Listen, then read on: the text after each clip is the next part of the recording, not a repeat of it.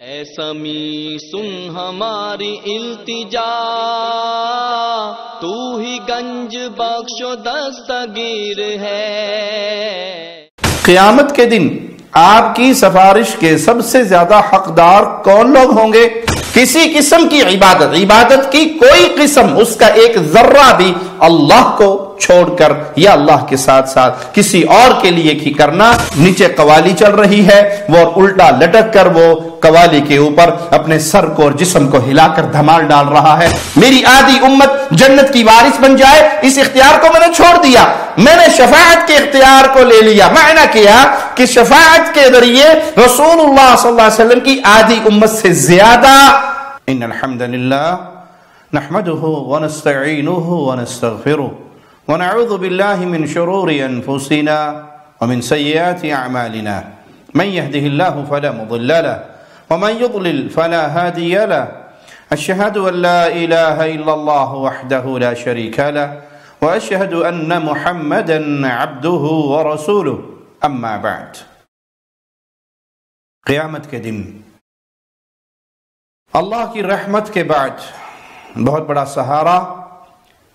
इमाम अम्बिया इमाम कायनात इमाम आज़म मोहम्मद सल्लल्लाहु अलैहि वसल्लम की शफाअत का होगा आप ही की शफात से इंसानियत का हिसाब व किताब शुरू होगा।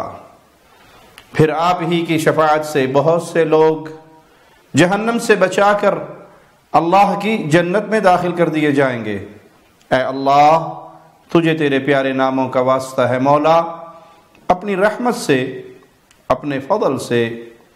अपने करम से हमें भी उन प्यारों में शामिल फरमा दे, जिनको तू अपनी रहमत से बग़ैर हिसाब व किताब के, बग़ैर इक़ाब के, बग़ैर अजाब के जन्नत में दाखिल फरमाएगा।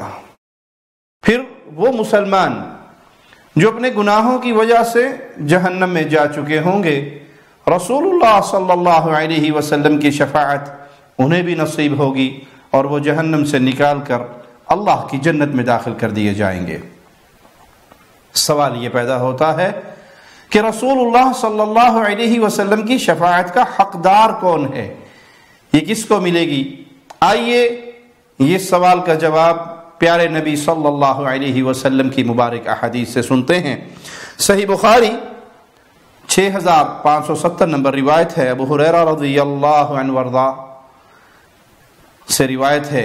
उन्होंने अर्ज़ की अल्लाह के नबी सल्लल्लाहु अलैहि वसल्लम, क़यामत के दिन आपकी सिफारिश के सबसे ज़्यादा हकदार कौन लोग होंगे? तो इमाम अम्बिया जवाब में फरमाने लगे मिन कल्बिही जिसने सच्चे दिल से, इखलास के साथ ला इलाहा इल्लल्लाह कहा होगा, उसको मेरी शफाअत नसीब होगी तो प्यारे नबी सल्लल्लाहु अलैहि वसल्लम की शफात के लिए अकीदा तोहहीद का दुरुस्त होना, ला इलाहा का फहम होना, अगर सिर्फ़ ज़ुबान से इंसान कहे ला इलाहा उसका अमल उसके बरखिलाफ हो तो वो ला इलाहा की तस्बीहात उसे फ़ायदा नहीं देंगी। शर्त लगाई है रसूलुल्लाह सल्लल्लाहु अलैहि वसल्लम ने, खालिसन मिन कल्बिही। वो खालिस नीयत से इस बात का करार करे। यानी उसका यह अकीदा हो कि अल्लाह के अलावा कोई इलाह बरहक महबूद बरहक नहीं है। इस अकीदे पर, इस तोहेद पर शिर की गलास्तों से बचता हुआ वो अमल पैरा रहे तो फिर ये वो खुश नसीब है जिसे क़यामत के दिन इमाम अम्बिया इमाम आज़म मोहम्मद सल्लल्लाहु वसल्लम की शफाअत मिलेगी। अब रज़ियल्लाहु बयान करते हैं कि अलैहि वसल्लम ने फरमाया, शफाअती लिमन शाहिदा अल्लाह मुखलिसन व अन्न मुहम्मदन रसूलुल्लाह युसद्दिकु लिसानुहु कल्बहु व कल्बुहु लिसानहु मेरी शफाअत उसको मिलेगी जिसने खालिस होकर, इखलास के साथ अल्लाह को राज़ी करने के लिए ला के करार किया होगा। और ये गवाही दी होगी कि मोहम्मद वसल्लम अल्लाह के रसूल है, उसकी ज़ुबान की तस्दीक उसका दिल करे और उसके दिल की तस्दीक उसकी ज़ुबान करे। यानी कौल और फेल में तजाद ना हो। जो वो कह रहा है वो दिल के यकीन के साथ कह रहा है, जो उसके दिल में यकीन है, वही उसकी ज़ुबान पर हो। उसको यकीन भी हो और इकरार भी हो कि अल्लाह के अलावा कोई महबूद बरहक नहीं, अल्लाह के अलावा कोई इबादत का हकदार नहीं, अल्लाह के अलावा किसी की इबादत नहीं की जा सकती।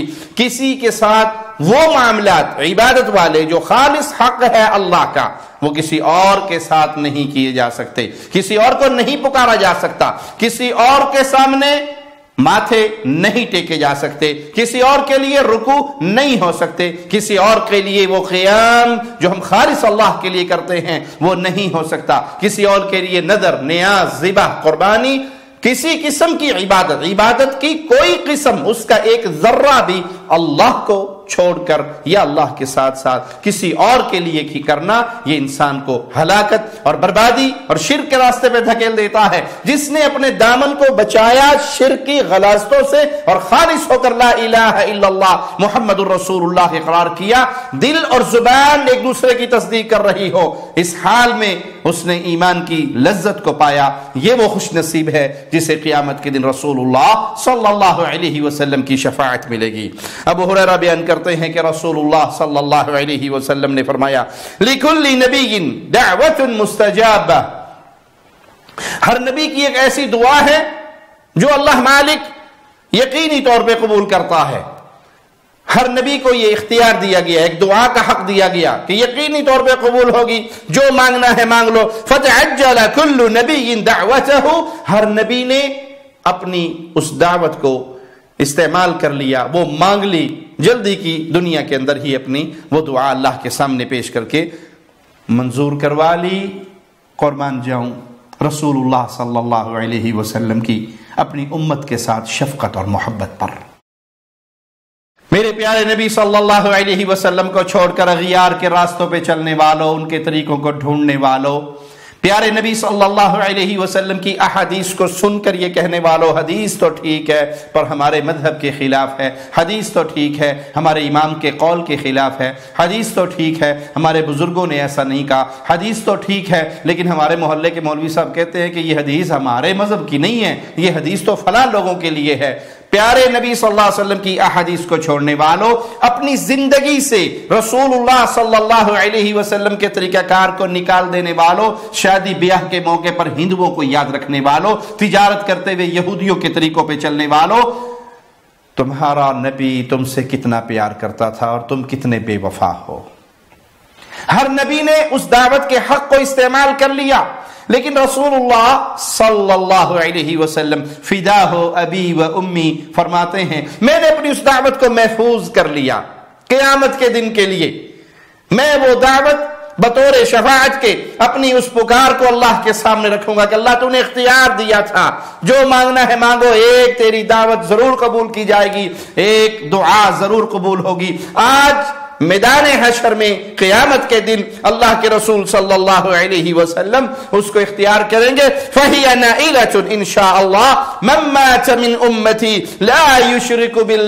शैआ और मेरी ये दुआ हर उस मेरे उम्मती के हक में कबूल होगी जो इस हाल में मरा कि उसने अल्लाह का शरीक ना बनाया हो।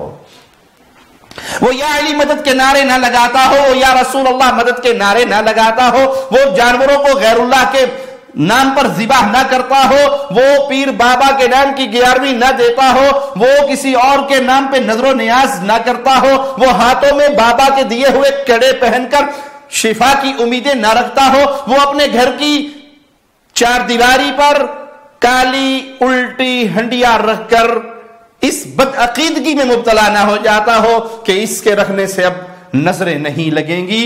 वो अपनी गाड़ी के आगे जूती बांधकर ये बदअकीदा ना रखता हो कि अब एक्सीडेंट नहीं होगा। इस जूती के लटकाने से सारी नज़र बद दूर हो जाती है। वो वो बच्चा जो नौ महीने माँ के पेट में इंतहाई महफूज रहा, अल्लाह का दिया हुआ अपने नसीब का रिज्क पाता रहा और सही सालम इस दुनिया में आया, आते ही उसके गले के अंदर, उसकी टांग पर, उसकी बाजू पर, उसके हाथ में कोई तावीज बाँध देने वाला ना हो, वो शिर करने वाला ना हो, वो गैरुल्लाह पे उम्मीदें लगाने वाला ना हो, वो गैरुल्लाह को सजदे करने वाला ना हो, वो एक अल्लाह को मानने वाला हो।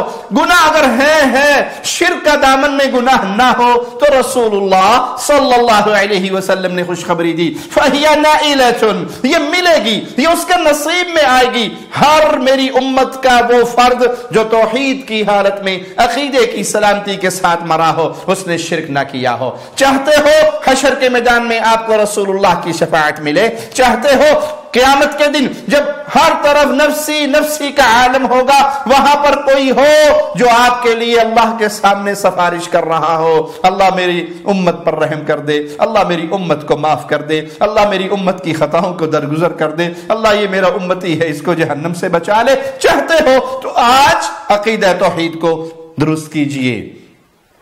अल्लाह को राज़ी कीजिए, मुर्दों को राज़ी ना करें। पीरो बाबा के राज़ी करने के चक्कर में अपने खालिक को नाराज़ ना करें। हद हो गई है, हद हो गई है। जी हालत और बदअकीदगी की हद हो गई है। एक नजार का हमने मंजर देखा, लोग पीर की कवाली पर धमाल डालते हैं। हमने सुना था, हमने देखा भी है। हमने उसका बारहा रद भी किया कि ये हिंदवाना तरीके हैं, शरीयत मोहम्मदिया और मुबारक इस्लाम की शरीयत। उसका इससे कोई ताल्लुक नहीं। अब तो बेहयाई की बदअकीदगी की। यहाँ तक हद हो चुकी है कि एक शख्स उल्टा लटका हुआ है बाबा जी के मिजार पे और नीचे कवाली चल रही है। वो उल्टा लटक कर वो कवाली के ऊपर अपने सर को और जिसम को हिलाकर धमाल डाल रहा है।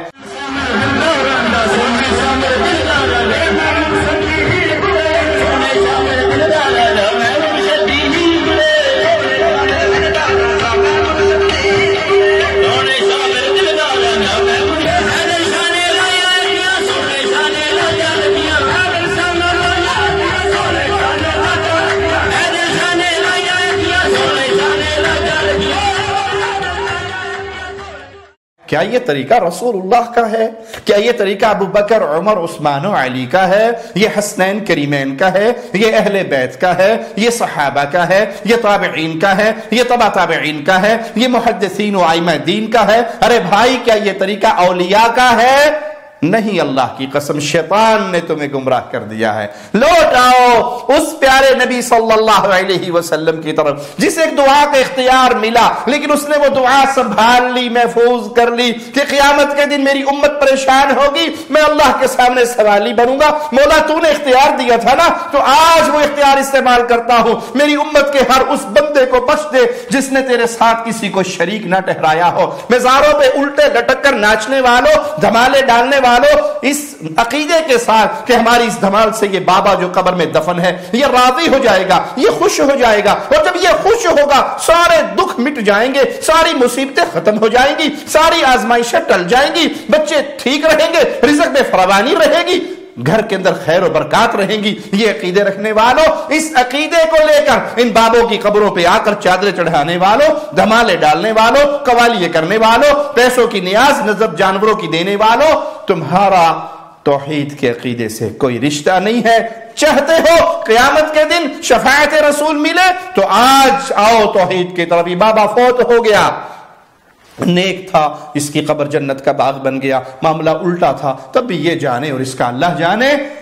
तुम्हें जो दरस दिया गया, वो तोहीद के पैगाम को मानने का दरस दिया गया। शफात उसके हिस्से में आएगी। मिन उम्मती शैया मेरी उम्मत का हर वो नौजवान, मेरी उम्मत का हर वो फर्द, मेरी उम्मत का हर वो शख्स जो शिर की हालत में ना मरा हो, तोहीद पे मरा हो, वो ज़रूर हिस्सा पाएगा। इब्ने माजा चार हज़ार तीन सौ सत्रह नंबर रिवायत है। सैदना औफ बिन मालिक बयान करते हैं। रसूलुल्लाह सल्लल्लाहु अलैहि वसल्लम ने फरमाया आतानी आती मिन इंदी रब्बी। मेरे रब की तरफ़ से आने वाला एक फरिश्ता आया, फखयरनी बैन अन युदखिला निस्फ उम्मतिल जन्नह व बैन उसने मुझे इख्तियार दिया। अल्लाह की तरफ़ से आने वाला आया और मेरे सामने ऑप्शन रखा। आप चाहें आपकी आधी उम्मत अल्लाह उनको जन्नत में दाखिल कर देगा। और अगर आप चाहें तो शफात का हक ले लें। फख्तर तो शफा वही अलीमन शैआ तो मैंने इस इख्तियार को तो छोड़ दिया कि मेरी आधी उम्मत जन्नत में चली जाए। आधी जन्नत, मेरी आधी उम्मत जन्नत की वारिस बन जाए। इस इख्तियार को मैंने छोड़ दिया। मैंने शफात के इख्तियार को ले लिया। मायना किया कि शफात के ज़रिए रसूलुल्लाह सल्लल्लाहु की आधी उम्मत से ज़्यादा पहले जन्नत होंगे। लेकिन प्यारे नबी सल्लल्लाहु अलैहि वसल्लम ने वो फार्मूला भी दे दिया कि ये शफाअत मिलेगी किसको? वही लिममाता ला युशरक बिल्लाहि शैया उसके हिस्से में आएगी जिसने अल्लाह के साथ किसी और को शरीक न किया हो। अखबार में पढ़ने वालों, मेरा ये हफ़्ता कैसे गुजरेगा? मेरा सितारा तारीख पैदाइश के हवाले से फुला बनता है। जिससे मेरी शादी हो रही है, उसका फुला बनता है। हमारे तो बुर्ज अलग हैं। हमारी कभी शादियाँ कामयाब नहीं होंगी। हमारी औलादों में खैर नहीं होगी। ये सब जादूगरी है। ये काहिनों का काम है। ये शयातीन की इबादत है। इसका इस्लाम से कोई ताल्लुक नहीं है। अल्लाह के लिए अपने रिश्ते अपने रब से जोड़ो। आसमान से बारिश बरसे और कोई ये कहे, ये अल्लाह का फजल है। वो मुमिन है। और आसमान से बारिश बरसे और कहे, फला सितारे की वजह से, फला पीरो बाब बाबे और शेख और हज़रत की वजह से बरसी है तो उसका ईमान बर्बाद हो गया। अरे भाई, एक बारिश अगर अल्लाह से हटाकर किसी और की तरफ़ मंसूब कर दी जाए, बंदे का ईमान बर्बाद हो जाता है। और जो बेटे का नाम पीर दिता रखे, जो बेटे का नाम अब्दुल नबी, अब्दुल रसूल, अब्दुल मुस्तफ़ा रखे, जो बेटे का नाम अब्दुल अली, अब्दुल हुसैन, अब्दुल जहरा रखे, उसका ईमान कहाँ बाकी रहेगा? अपने ईमान की खैर मनाइए। चाहते हो रसूलुल्लाह सल्लल्लाहु अलैहि वसल्लम की शफात मिल जाए तो फिर याद रखो, शिरक से अपने दामन को बचाना होगा। आप ज़रूर अल्लाह की रहमत से, मुस्तफ़ा सलाम की शफात से अल्लाह की जन्नत के मेहमान बनोगे। अल्लाह तुझे तेरे प्यारे नामों का वास्ता है मौला। क़यामत के दिन हमें उन प्यारों में शामिल फरमा दे, जो तेरे नबी की शफात पाएँगे और तेरी जन्नत के मेहमान बन जाएँगे। अकोल कौली हादा वस्तफ़िर वलकुम वलिसाइलमुस्लिमीन